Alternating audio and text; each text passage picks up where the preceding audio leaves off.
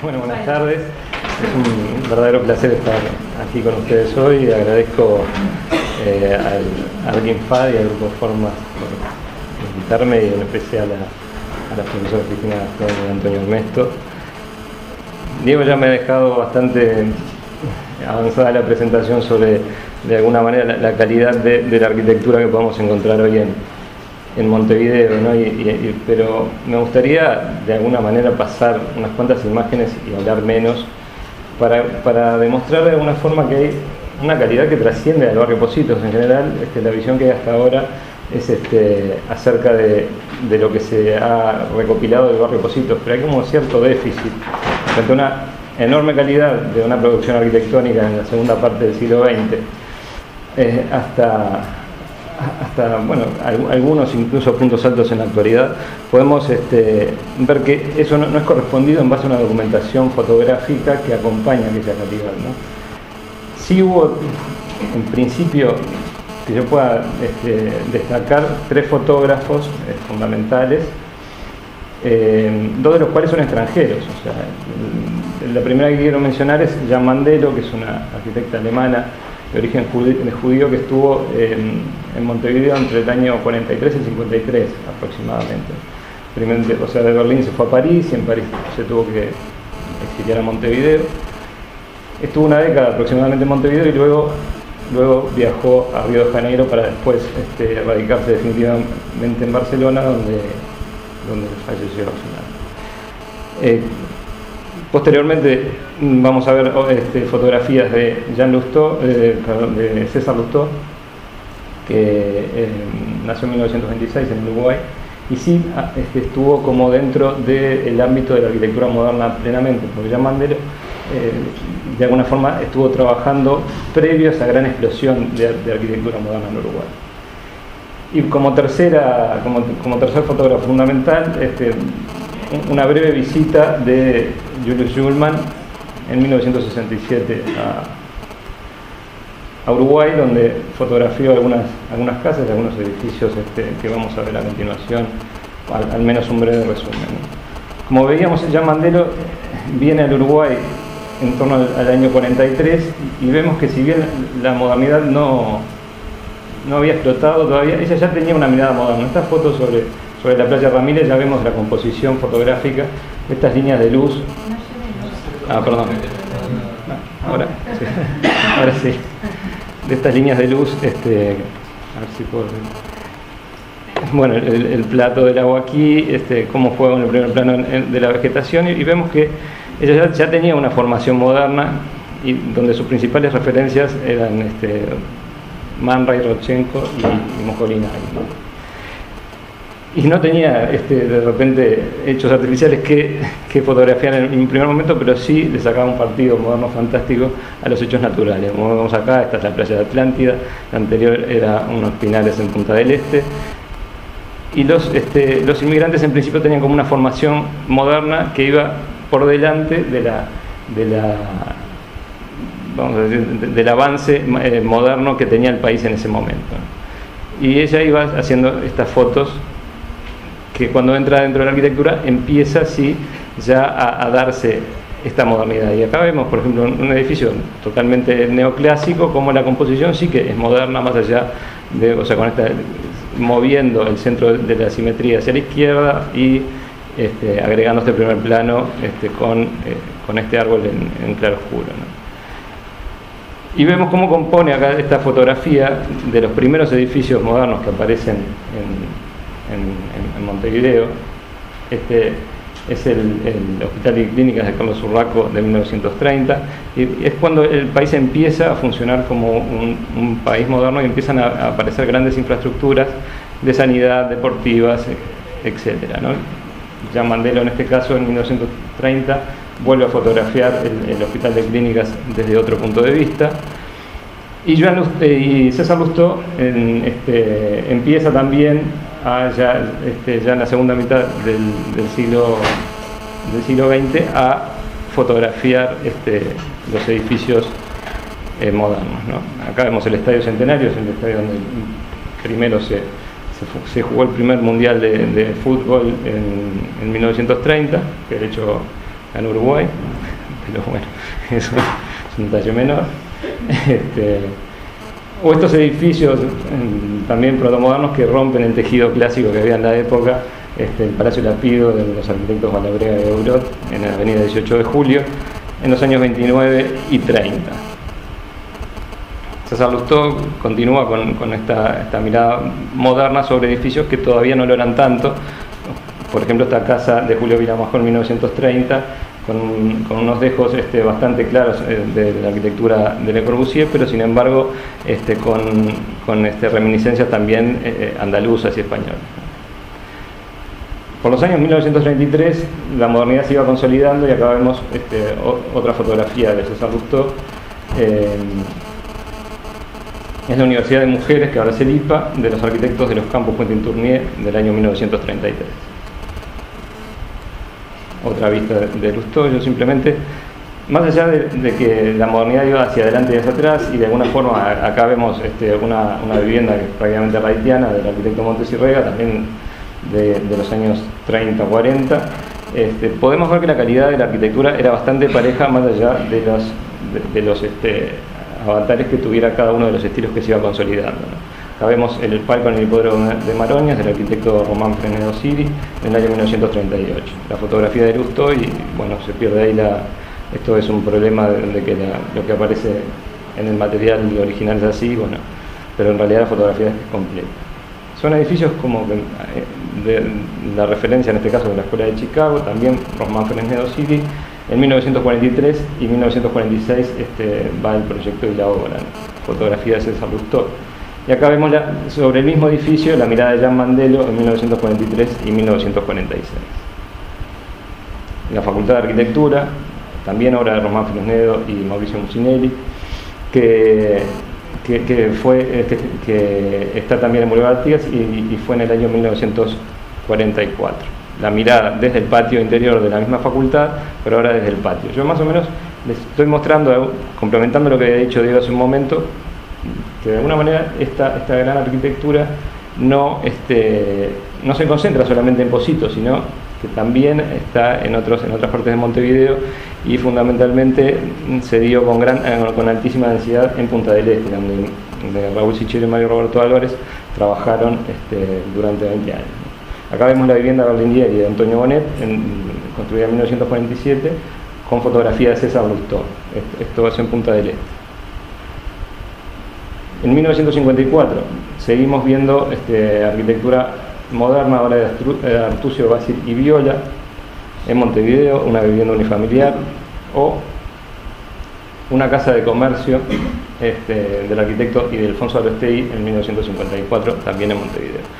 Es un avance, avanzamos en el, tiempo, en 1954 Luis Bahía hace con reminiscencias corbusieranas este, de su propia casa y estudio, y, Bonet, que continúa su, actuación por arriba de la Plata, hace la capilla Susana, de Susana Soca entre 1958 y 1962. Saltando al 57, Luis García Pardo hace el edificio del Pilar, que recién veíamos. Y el arquitecto Ruiz y, eh, Ibaya en 1958 hacen el Banco de Crédito. estos edificios, eh, casi ninguno, o la mayoría, no están en Positos ni cerca de, la línea costera. Este justo queda enfrente de la Facultad de Arquitectura que veníamos recién, ahora del arquitecto Pinto Rizzo, este, fotografía de César Lustó en el año 1958.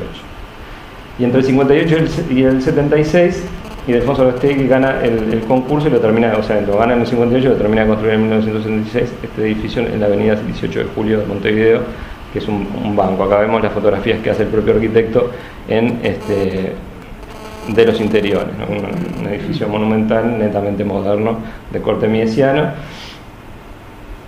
acompañado de más edificios también, o sea, eh, del archivo de, César Lustó, 1959, Luis García Pardo, en Punta del Este, ahora en, Punta del Este, Pinto Rizzo y Raúl Sichero hacen el edificio Santos Dumont, y Gómez Platero y López Rey el edificio Puerto, también en Punta del Este. Quiero decir, por, el país, por las principales ciudades del país, se va consolidando una modernidad que al principio este, era una proto-modernidad que, entra dentro de, lo mejor que se, que había hecho en la época, pero que se va consolidando hacia una pureza moderna de, alta calidad.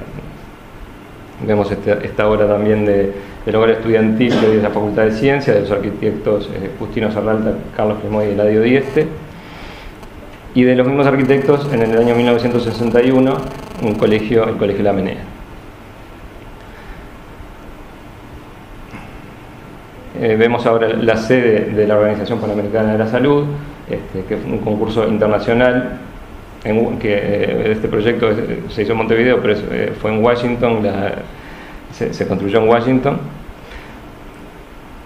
Vemos aquí el urnario municipal del Cementerio del Norte de Nelson Mayardo y el artista plástico Erwin Studer y, diversas fotografías de este mismo, de este mismo edificio, ahora con la mirada del fotógrafo Julio Navarro. Continuando en 1961, eh, Rodolfo López Rey hace su vivienda propia de veraneo en Punta del Este, o este mismo edificio, el edificio Finisterre, en la Rambla de, Montevideo del, mismo arquitecto. El, taller Cravoto dentro de la universidad, este, en 1965 hace el comedor universitario, o el complejo Boulevard de Vascans, Stretchman y Villamil en 1971. Quiero decir, avanzar la cronología, ya estamos en el 79, la arquitectura moderna había empezado a debilitarse en, todo el planeta ya hace unos cuantos años, y podemos ver estos, este edificio del, arquitecto Traval en Punta del Este también, edificio Seaside. O este, este shopping center de López Rey como platero, con, el apoyo de Eladio Dieste en la construcción de la estructura. Y ya en 1991, Miguel Amato, o sea, ya aquí, estaba consolidada la deconstrucción, la posmodernidad más aguerrida, y sin embargo Montevideo eh, seguía manteniendo estos edificios que, sin ser netamente modernos, mantenían una de calidad. Quiero decir que la posmodernidad dentro de Uruguay estuvo este, bastante controlada porque la influencia de Mies y Le Corbusier, que había, estado, había visitado Montevideo en 1929, había sido muy importante dentro de, la, camada de docentes que le acompañó en este momento y que después lo fueron transmitiendo a lo largo de las décadas que vinieron después. Cuando llega Schulman eh, a fotografiar algunos, algunos encargos particulares con esta casa de Miguel Amato, ya la modernidad estaba consolidada en el año 1967 y vemos que estas fotografías prácticamente podrían ser de cualquier casa de Neutra o cualquier case study house, ¿no? O sea, la calidad de la construcción visual que hace aquí Schulman es, este, no merece ninguna explicación porque realmente este, la obra es buena, pero la fotografía quedó, es aún mejor que, que la obra.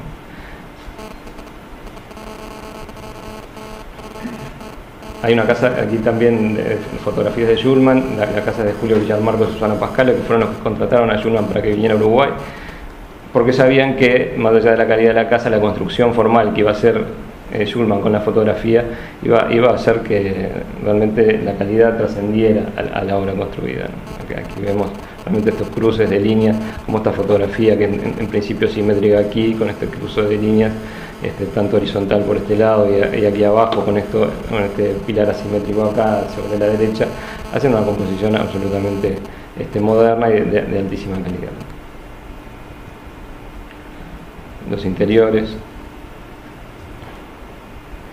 Y de, López Rey y Gómez Platero también vemos esta, eh, esta casa en Punta del Este, fotografiada en 1967 por Julius Schulman, que también podría estar en cualquier revista norteamericana de la época. Decir, estos son de alguna forma un, archivo arquitectónico que tiene un registro que es este es bastante menor, o sea, en, cantidad en cuanto a la cantidad de los edificios, en cuanto a la calidad de los edificios. La, fotografía es excelente, pero este, hay muy poca. Entonces, más o menos les quería hacer este resumen para luego, eh, de alguna manera, explicarles lo que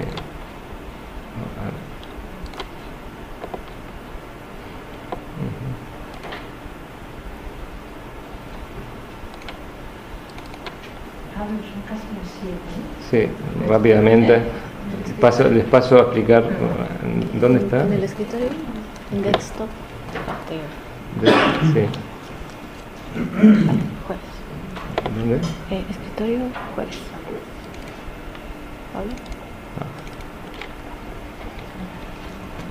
Simplemente les voy a mostrar algunos de los últimos para para no este,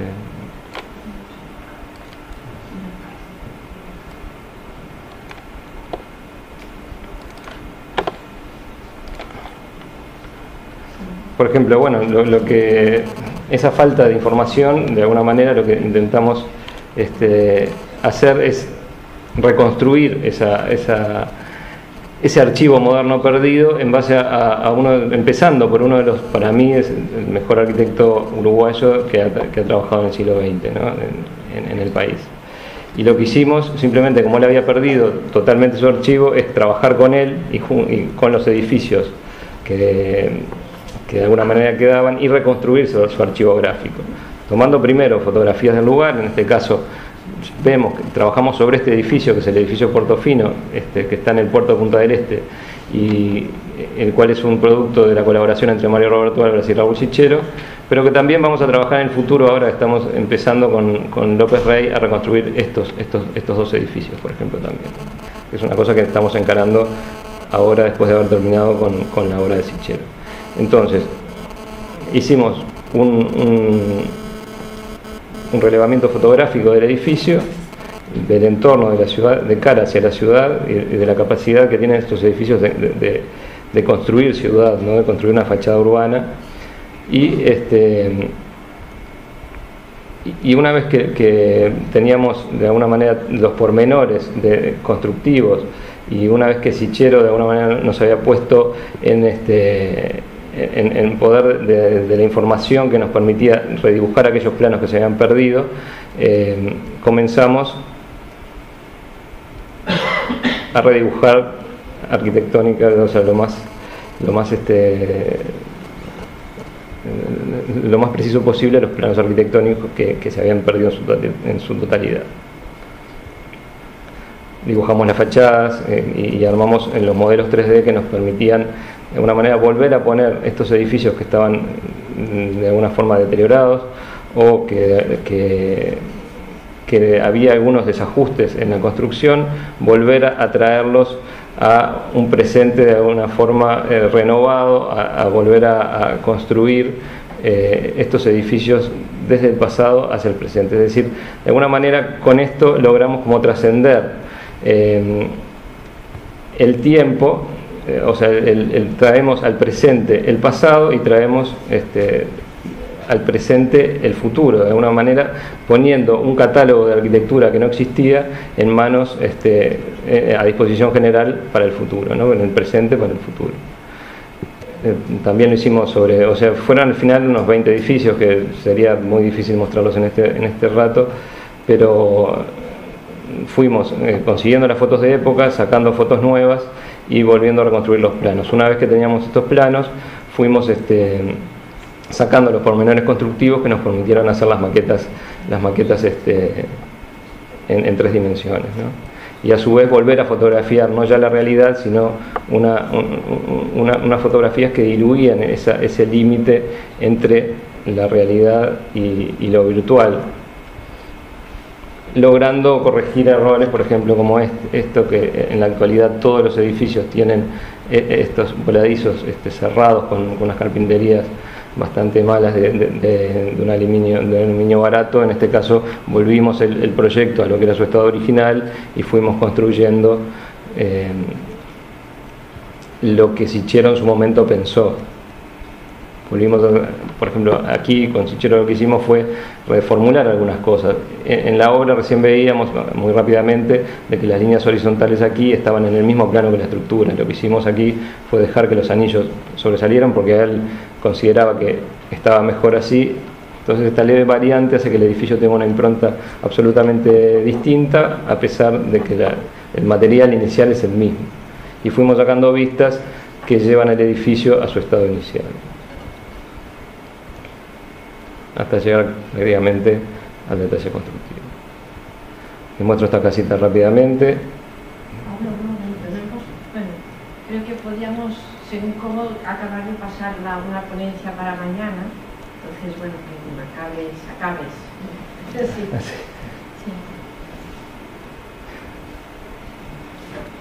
no, simplemente como estoy ya en los veintitantos minutos, este, tenía más información de la... Eh, les muestro esta casa, estas son fotografías mías, les pido disculpas porque realmente después de los fotógrafos que hemos visto, pero sirve aunque sea para, dejar registro de una, de una arquitectura de primer orden. Esta es la Casa Espacio en Punta del Este, hecha por Mario Roberto Álvarez y Raúl Sichero.